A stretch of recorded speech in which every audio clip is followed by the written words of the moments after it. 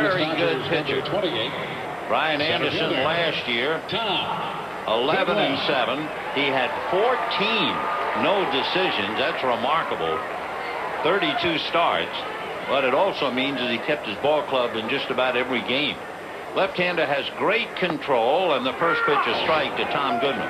Why is he a character? Well, among other things, he once held an iron up against his cheek to see if it was hot, and it was. The strike one pitch is another strike.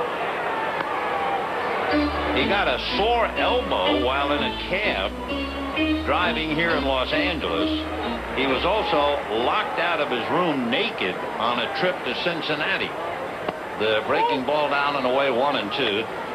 So he showed up in spring training with a cut on his middle finger of his left hand from opening a bottle of cologne. The one-two pitch is a fastball low two and two. While the cut was at the point of the finger where the ball leaves his hand, he did not cause him to miss anything. He put glue on it to keep the skin together so it wouldn't break open. 2-2 fastball is just off the plate, and the count 3 and 2. And what happened was when Anderson cut his finger, he didn't know it. And he was spraying the cologne on his face, and his face was covered with blood. And then he looked down, and he saw the blood on the little hole of the sprayer. That's Brian Anderson. And he was so impressed by the oddity of it, he not only saved the cologne bottle, the blood and all, to show it to his teammates, he then called his parents to let them know he was in fine style to start off another year. And then last time out, he was hit on the thumb. But here he is. Fastball hit in the air to field and deep. Going back for it is Dellucci at the wall. It is gone. Home run for Tom Goodwin, and the Dodgers take a one to nothing lead.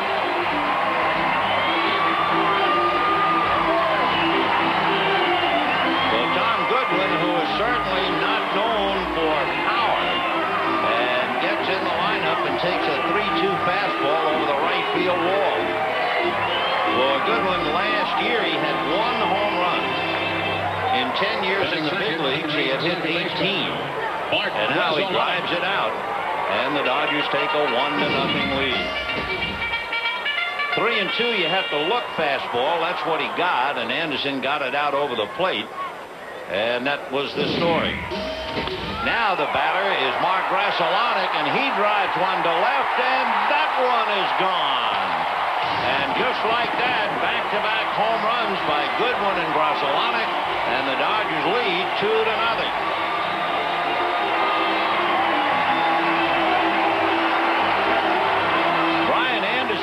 with great control and control pitchers always pay a price. Last year, he allowed 38 home runs. And he's allowed two in a row here. Left fielder Gary Sheffield. This is game four, and Goodwin's home run was electrifying. It was the first hit by a Dodger leadoff hitter this year, and they got the Dodgers so jacked up that Grudzielanek followed with a home run. And now the batter is Gary Sheffield, and he promptly hits a BB into center field for a base hit. So Brian Anderson who had the sore left thumb. He was struck by a ball hit by Glen Allen Hill Saturday in an exhibition game at Bank One Ballpark.